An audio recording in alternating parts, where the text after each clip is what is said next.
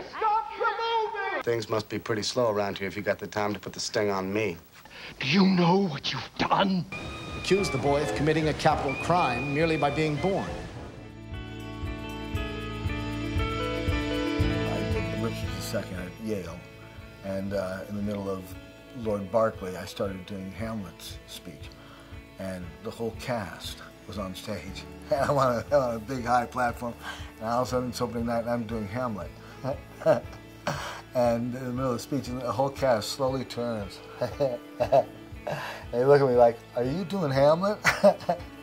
I found my way back out of it and back into my speech, and finished it. And then afterwards, the director said, "Did I hear a bit of Hamlet up there tonight?" I said, "Yeah, uh, I, I saw you doing it next year. I thought maybe I'd get an early audition in." This sir, has lain in the earth some three and twenty years. Entertainment has to cost you, or you can't have fun. You stop this right now. Oh, he'll be a big help. Once we came across this nutcase.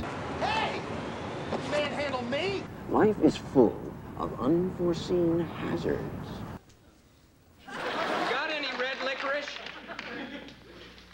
Thanks. I'm going up now. Saturday is looking at 8 to 12 inches by midnight, and temperatures well.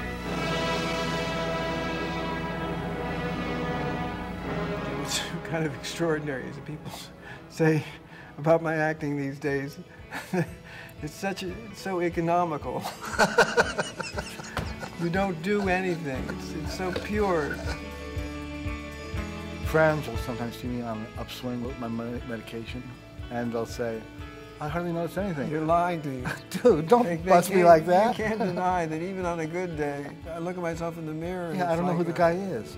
Some monster Yeah, yeah, yeah. staring back at me. The idea for us is to rehearse for four or five weeks and put up, Samuel Beckett's Endgame. tie it into our, our daily lives. I just felt like this guy is like talking about my, my life here, about Parkinson's. And that's what it really felt like, especially when he got to the word, have you not had enough? And, and Clov says, yes. Of what?